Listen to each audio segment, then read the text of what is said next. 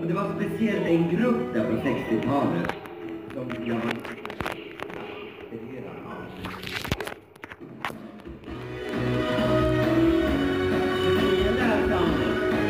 Lite Motown och gruppen som vi pratar om och naturligtvis